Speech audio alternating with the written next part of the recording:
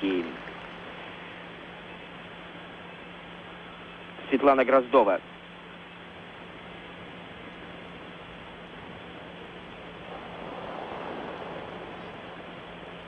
Шестнадцать лет Светлане Гроздовой. Она из Ростова-на-Дону.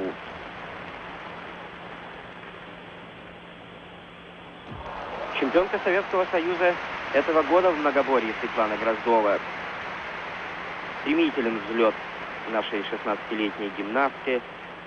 Долго она не выступала. Затем вновь вышла на помост.